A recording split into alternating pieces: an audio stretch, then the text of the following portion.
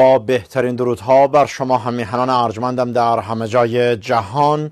با برنامه شامگاهی صفحه یک میگوشیم آخرین صفحات خبرهای ایران منطقه و جهان در اولین بخش از برنامه های خبری تحلیلی امشب. نخست مروری بر سرفصل اهم اخبار برگزیده امشب. بروز تنش در زیافت افتاری حسن روحانی همینطور موجی از امیدواری ها همراه با گمانه های گوناگون حول فرجام مذاکرات هسته‌ای ادامه واکنش ها به آخرین اظهارات علی خامنه ای و پیشرت های هسته ای با ابراز نگرانی مقام فرانسه همزمان با کم اعتنایی آمریکا تایید سریع و زود هنگام طرح تازه تصویب شده هسته مجلسیان از سوی شورای نگهبان ایران تازه ترین وعده آمریکا جهت تحویل رئاکتور پیشرفته اتمی به جمهوری اسلامی ایران در صورت توافق هسته‌ای ادامه کشف و افشای پرونده های فساد مردان احمدی نژاد از جمله کامران دانشجو و پرونده زمین خاریش در دادگاه اهم اخبار برگزیده امشب پنجشنبه چهارم تیر ماه ایرانی است که در طول 20 دقیقه پیش روی به آگاهی شما بینندگان عزیز خواهد رسید. همینک وفق هر شب مشروع اخبار با آخرین تحولات در عرصه هسته خبرگزاری اسوشیتد پرس می‌گوید به سندی محرمانه دست یافته است که مطابق آن آمریکا و دیگر قدرت‌های در حال مذاکره با جمهوری اسلامی موافقند که در صورت رسیدن به توافق جامع رئاکتورهای پیشرفته در اختیار ایران گذاشته شود. اسوشیتد پرس می‌گوید که این سند پیشنویس یکی از چندین متنی است که در صورت موفقیت مذاکرات هسته‌ای ایران و کشورهای موسوم به پنج به علاوه یک زمینه توافق نهایی خواهد بود. اسوشیتد پرس می نویسد که سند یاد شده که همکاری هسته غیر نظامی نام دارد. عنوان می کند که قدرت های جهانی به ایران وعده دادند که در ازای تأسیسات نیمه تمام آب سنگین در عراق رئاکتورهای هسته آب سبک در اختیار ایران بگذارند. رویدادی دیگر در عرصه هسته‌ای این بار واکنش کشورهای مذاکره کننده به اظهار موضع علی خامنه ای اظهارات دو روز گذشته علی خامنه ای در دیدار با کارگزاران عالی رتبه جمهوری اسلامی موجب موجی از واکنش های مثبت میان مسئولین ایرانی از هر دو طیف و هر دو جناح جمهوری اسلامی شده بود. تا جایی که افراطی ترین نماینده مجلس یعنی حمید رسایی به درگاه خدای خود نماز شکر گذارد و میانی ترین مسئولین ها نیز در دولت روحانی از آن ابراز رضایت کرده بودند. آیت الله علی خامنه ای در بخشی از اظهاراتش همون گونه که شما بینندگان مستحضرید گفته بود که تحریم های اقتصادی، مالی و بانکی ایران که توسط شورای امنیت سازمان ملل متحد، کنگره و دولت آمریکا وضع شده بایستی فورا هنگام امضای موافقتنامه لغو و بقیه تحریم ها هم در فواصل معقول برداشته شود. در این میان اما واکنش مسئولین خارجی به گونه دیگر بود. لوران فابیوس وزیر خارجه فرانسه گفت برخی اظهارات اخیر مقام های عالی ایران کمکی به رسیدن به توافق نمی کند و همزمان در سوی دیگر سخنگوی وزارت امور خارجه ایالات متحده آمریکا هم در واکنش به اظهارات رهبر ایران اشاره کرد که تمرکز مقامات آمریکایی بر گفتگوهای جاری در اتاق مذاکرات است و نه اظهار نظرهای عمومی. که در واقع نوعی کم اعتنایی و بی اعتنایی نسبت به خط و نشان کشیدن های محافل تندرو بود و گویی مفاد و محتوای مذاکرات در نشست های اختصاصی پشت درهای بسته مسیر دیگری را طی می کند.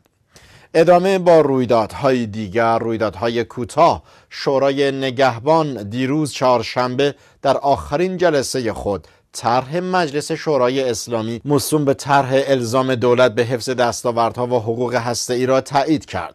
خبرگزاری ایرنا گزارش می دهد این طرح که جزئیات آن سهشنبه به تصویب مجلس رسید در جلسه عصر چهارشنبه شورای نگهبان به صورت فوقالعاده مورد بررسی قرار گرفت و اکثریت اعضای این شورا مصوبه مذکور را مغایر شهر و قانون اساسی ندانستند. این در حالی است که یک روز پیش از این محمد باقر نوبخت سخنگوی دولت این طرح را مقایر با قانون اساسی اعلام کرده بود در همان روز مرزی افخم سخنگوی وزارت خارجه ایران نیز گفت که دولت طرح هسته‌ای مجلس را مفید نمی‌داند و خوب بود مجلس پیش از تصویب این طرح ملاحظات تیم هسته‌ای را هم در نظر می گرفت. این طرح که می تواند روند مذاکره ایران با قدرت‌های غربی را دشوارتر کند در حالی به تایید شورای نگهبان می رسد که تا پایان مهلت مقرر شده برای دستیابی به توافق نهایی هسته‌ای تنها هفت روز بیشتر باقی نمانده است.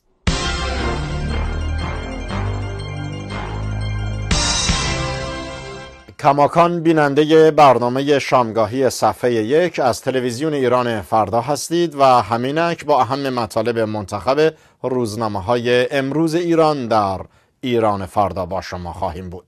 حاشیه های تنشالود افتاری حسن روحانی موضوع بسیاری از روزنامه های امروز بود تا جایی که روزنامه آفتاب یزد صریحا تیتر نخست امروز را به تنش در زیافت افتاری رئیس جمهور ایران اختصاص داد.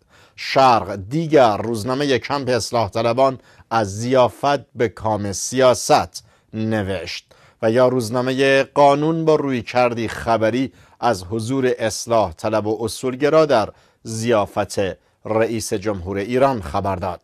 بر اساس گزارش روزنامه های امروز تهران یکی از سخنرانان این مراسم افتاری غلام حسین کرباسجی دبیر کل حزب کارگزاران بود که گویا اظهارات وی محفل به جنجال کشوند. اما سخنان او چندان به مذاق برخی مهمانان اصولگرا خوش نیامد و برخی از آنها حتی نیمه کار زیافت را ترک کردند. محسن کوکن نائب رئیس جبهه پیروان درباره ترک جلسه از سوی اصولگرایان به خبرگزاری فارس می گفت که آقای کرباسچی در این دیدار ضمن تطهیر به تعبیر وی سران فتنه گفت که این سید مظلوم منظور میر حسین موسوی کلا نظام را قبول دارد و نیت بدی نداشت. محمد پهلوان یکی از فعالان دیگر اصولگرا که در این نشست شرکت کرده بود و جلسه را ترک کرد می‌گوید پس از سخنان کرباسچی دبیر کل حزب کارگزاران در حمایت از سران فتنه و نام بردن از آنان و تقاضا برای رفع حصر زیافت افتاری روحانی با شخصیت های سیاسی را ترک کردند.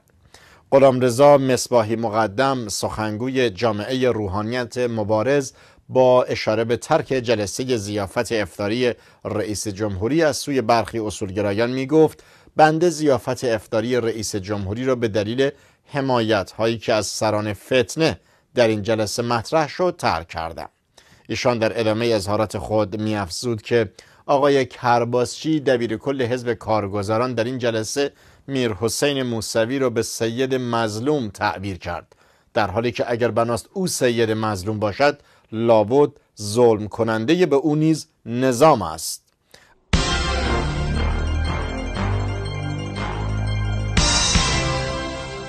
ورق می‌زنیم با دیگر روزنامه های منتشره در تهران و موضوعات دیگر. از جمله موضوعاتی که مرتوجه بسیاری از روزنامه های مستقل غیر حاکمیتی واقع شده بود توجه کرده بودند همان ابراز خوشبینی از توافق هسته‌ای بود. در این میان روزنامه های مختلف از جمله روزنامه شرق از توافق قطعی و حتمی خبر می‌داد. شرق به نقل از کاخ سفید و همینطور سخنگوی کاخ سفید معتقد بود که با وجود تمامی اما و اگرهایی که همچنان درباره توافق نهایی در موضوع هسته وجود دارد کاخ سفید اعلام کرد اطمینان دارد یک توافق نهایی با ایران در روزهای پایانی قبل از ضرب العجل سی جوان حاصل خواهد شد. ولی پذیرفت برخی از جزئیات ممکن است کماکان پس از دستیابی به این توافق مشخص شود. جاش ارنست سخنگوی کاخ سفید در گفتگویی با پایگاه خبری بلیز در پاسخ به اینکه آیا پس از توافق نهایی مذاکرات هستی با ایران ادامه خواهد یا, یا نه می گفت ما همچنان دیپلمات هایمان را به کار خواهیم گرفت. ما متوجه این که ضرب العجل چه معنا و مفهومی دارد. حدود دو سال است که در حال مذاکره با ایران هستیم. اکنون زمان آن رسیده است که به توافق برسیم.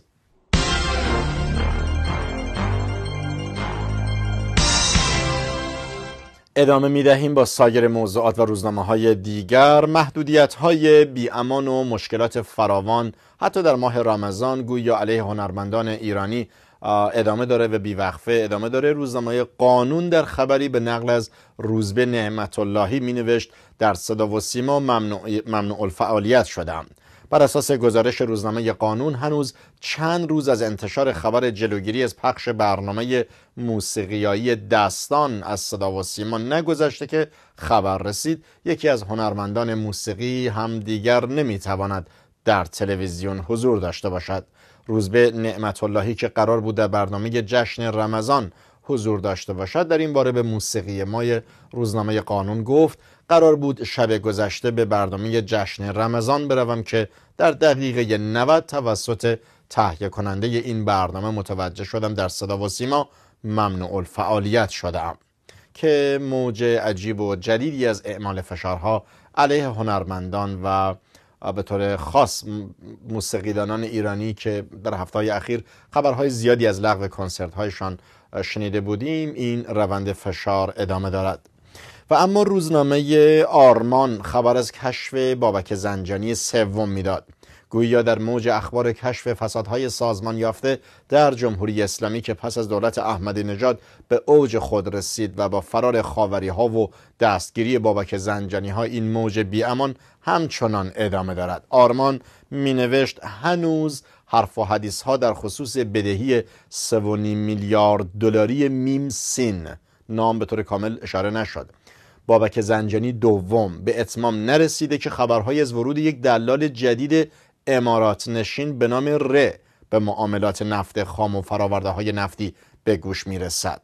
با اینکه دو سال از فعالیت دولت یازدهم میگذرد و تنها چند ماه از آغاز به کار دولت بیشتر نگذشته بود که بیژن زنگنه به رئیس جمهور قول داد در این دولت نفت و فراورده های نفتی به دلالان فروخته نخواهد شد اما بر اساس اطلاعات رسیده به نظر می رسد وزیر نفت نتوانسته به این وعده خود عمل کند.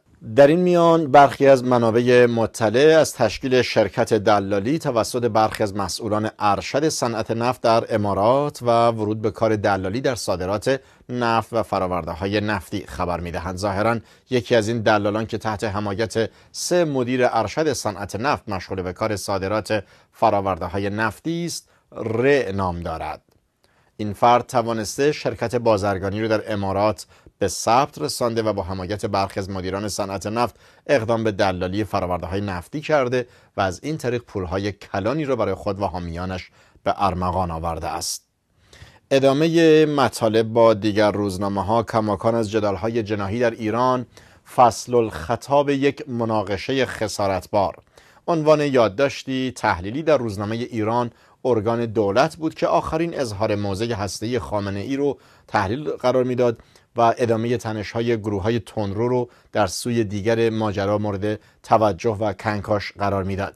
دکتر علی میرباغری نویسنده این یادداشت که از وی به عنوان استاد دانشگاه و مشاور وزارت کشور یاد می‌شد می نوشت نشست رهبر با مسئولان نظام در حالی به موضوع هسته اختصاص یافت که در روزهای اخیر فضای سیاسی پایتخت شاهد یک زورآزمایی میان دو طیف اقلیت مخالفان و اکثریت حامیان مذاکره ای بود. این مواجهه از پارلمان و در قالب نطق گروه پایداری آغاز شد و امتدادش به مراسم تشع جنازه 175 شهید در تهران کشیده شد. اتفاقات پس از این مراسم به تعبیر نویسنده روزنامه ایران در بهارستان یعنی در جلسات مجلس نشان داد که گروه موسوم به دلواپسان همزمان با عظیمت دیپلمات ها به مقر مذاکره طرح ایجاد ناامیدی در افکار عمومی را در دستور کار دارد. نویسنده روزنامه دولت در واپسین سطور نوشتاری خود نتیجه می گرفت که دولت روحانی در پیشبرد برنامه خود برای حل مناقشه هسته از راه مذاکره از ابتدا با این مسئله روبرو شد که توکر مذاکره با حریفان خارجی مخالفانی سرسخت در داخل دارد. جبهه مخالفان هرچند به دلیل نداشتن پایگاه مردمی عده و عدد زیادی ندارند اما در مقابل بر منابع قدرت چشمگیر اقتصادی پشتگرم هستند. در واقع از همان روزی که روحانی در بازگشت از مأموریت نیویورک با تعرض حلقه تندروها در فرودگاه مواجه شد روشن گردید که طرح مهم مذاکره هسته‌ای با شش قدرت جهانی با مقاومت‌هایی در لایه های پنهان قدرت روبروست که برای مهار آن اراده مراجع بالای نظام ضروری است که این روزنامه‌نگار در واقع آخرین موضع خامنه ای رو به نفع دولتیان تعبیر می‌کرد. و برنامه امشب رو در دقایق پایانی با دو رویداد کوتاه دیگر پی می‌گیریم. نخست خبری از منطقه و باستاب گسترده تفاهم نامه های دوازده میلیارد دلاری اقتصادی و نظامی میان عربستان و فرانسه. عادل الجبیر وزیر امور خارجه سعودی درباره سفر تاریخی شاهزاده محمد بن سلمان جانشین ولیعهد سعودی به پاریس گفت که پادشاهی سعودی و پاریس توافقنامه هایی به قیمت دوازده میلیارد دلار امضا کردند. الجبیر که در کنفرانس خبری مشترک با همتای فرانسوی خود سخن می گفت افزود که توافقنامه های خرید اسلحه از فرانسه از جمله محورهای گفتگو در روز چهارشنبه بود از سوی دیگر لوران فابیوس وزیر امور خارجه فرانسه نیز در این کنفرانس خبری با اشاره به ده توافقنامه امضا شده با سعودی ها گفت که از جمله این توافقنامه ها فروش 21 هلیکوپتر از نوع H145 به قیمت 500 میلیون دلار است. فابیوس افزود که توافقنامه درباره تحقیقات مشترک با فرانسه در زمینه ساخت دو نیروگاه اتمی در سعودی است از جمله توافقنامه های امضا شده است. همچنین الجبیر وزیر خارجه عربستان در زمینه نیروگاه اتمی گفت که سعودی در پی به دست آوردن تکنولوژی پیشرفته اتمی از فرانسه است. و خبری داخلی باز از محمود احمدی نژاد. استاد دانشگاهی در تهران گفت دولت احمدی نژاد فاسدترین دولت ایران از زمان ناصرالدین شاه قاجار تا کنون بود. مهدی پازوکی اقتصاددان و استاد دانشگاه با اشاره به ریشه های فساد اقتصادی در دولت قبل از بخش خصوصی سخن به میان آورده که زمین های کویر لوت را وسیقه گذاشته وام میلیاردی گرفته و این وام را بر نگردانده است. مهدی پازوکی اقتصاددان و استاد دانشگاه با تشریح ریشه های به وجود آمدن فساد در اقتصاد کشور می گفت به نظر من آقای احمدی نژاد اشتباهی رئیس جمهوری ایران شده بود. به این دلیل که ایشان شعار دفاع از مزدزعفان و دفاع از عدالت سر داد اما راهکار و مکانیزم دیگری را انتخاب کرده بود. ایشان اضافه کرد بنده به عنوان کارشناس اقتصادی می توانم با اطمینان بگویم که نسبت به یکصد سال گذشته حداقل از دوره ناصرالدین شاه تا کنون این دولت جزو فاسدترین دولت ها در ایران بوده است. و بالاخره در گوشه دیگری از شهر مسئولی در جمهوری اسلامی خواهان عذرخواهی مکتوب محمود احمدی نژاد شد. روزنامه شرق گزارش داد که وضعیت اطرافیان احمدی نژاد از محمد رضا رحیمی معاون اول رئیس دولت قبل گرفته تا حمید رضا بقایی معاون اجرایی محبوس احمدی نژاد چندان مساعد نیست. یکی به جرم ارتشا روانه زندان اوین شد و دیگری نیز بدون بیان جزئیات مسئله این روزها در زندان به سر می‌برد و به زودی حاشیه های دیگر حکمش مشخص خواهد شد. بنابر گزارش شرق غلامعلی جعفرزاده امین آبادی عضو کمیسیون برنامه و بودجه مجلس در گفتگو با این روزنامه نزدیک به تحول خواهان تأکید داشت که احمدی نژاد بایستی به جای دفاع از متخلفان. نامه ای سرگشاده به مردم بنویسد و درباره اختلاس اطرافیانش عذرخواهی کند.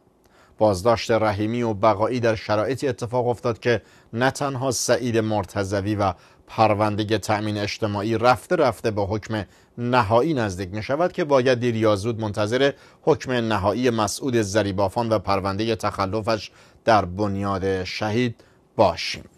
و با این رویداد کوتاه وقت برنامه امشب ما نیز در همین مقال و مجال به پایان می رسد تا درودی دوباره. شامگاهی دگربار و تازه هایی از هر روز ایران. در ایران فردا. بامداد روشن. آسمان آبی. بدرود.